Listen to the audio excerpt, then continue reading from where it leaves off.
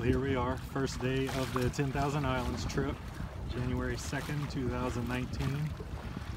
What a beautiful day for sailing. Dan Roeder over there in the Wayfarer Truant. Craig in the Lightning hanging out back here. The wind started off a little gusty, but has since laid down. I would guess they're, I don't know, five to six knots-ish right now under full sail heading towards the dome houses of Cape Romano. Hopefully the weather keeps up like this.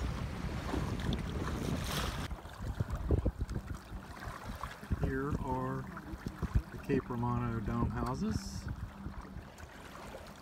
Pretty cool, I've never seen them before.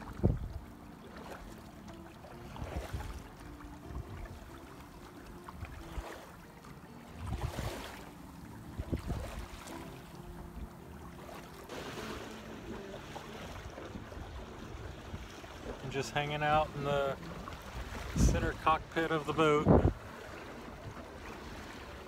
The wind died on me while I was by the dome houses and it has slowly come back and it's just steady now to where I can just sit here and relax. And there, I don't know if you can see, but somewhere up there is Dan and Craig. We are on our way to Panther Key now. It's kind of nice just sitting in the middle here, not steering or tending sails or anything because the wind's just consistent.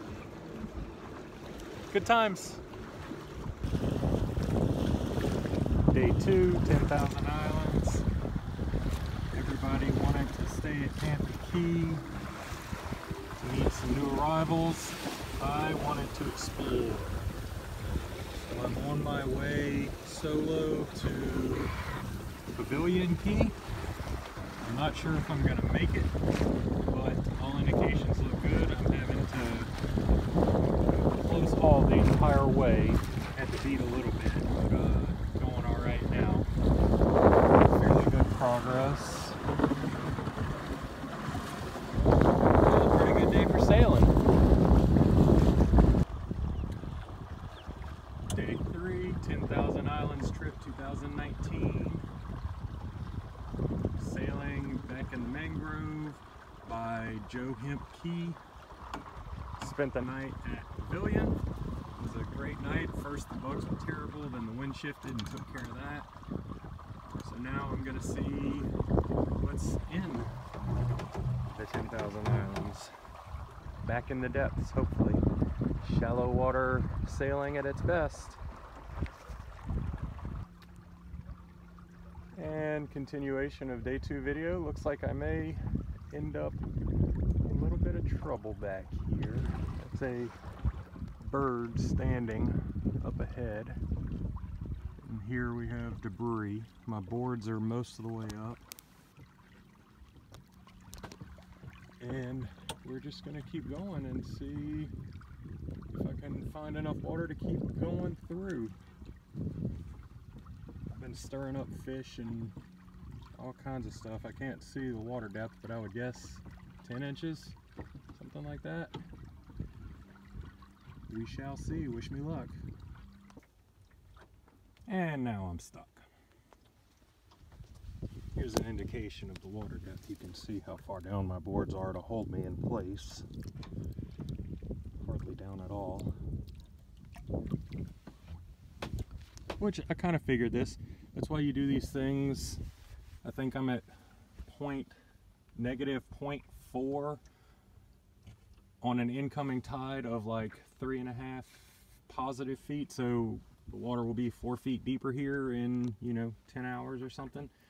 So all I need is a few inches. So I just looked at the tide chart, maybe a half an hour of sitting here and I should be able to continue on. That'll give me four or five more inches and plenty enough to try and make it.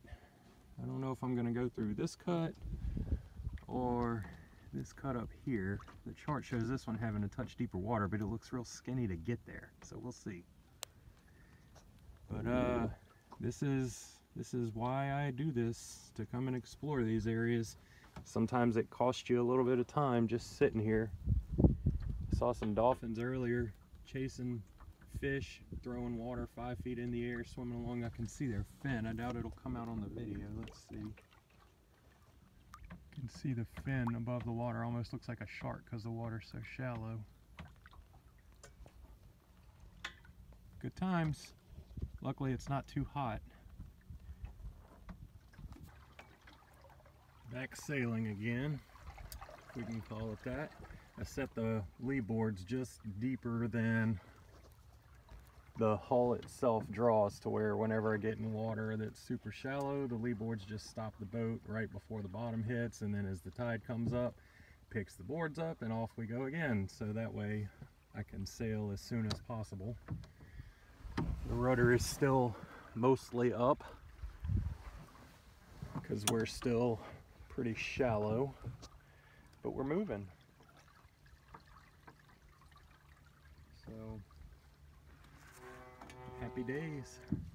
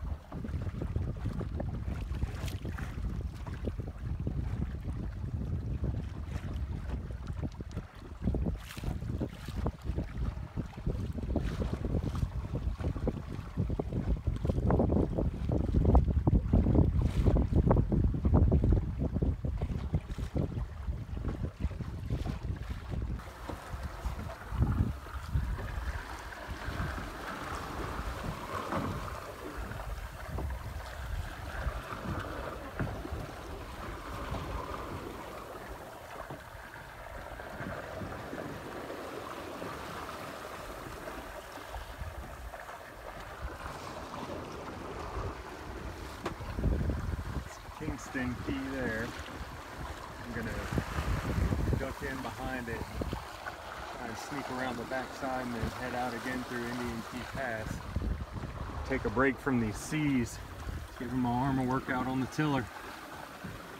It never comes out good in the video, but it's big enough that I'm having to correct on just about every wave, you know the drill.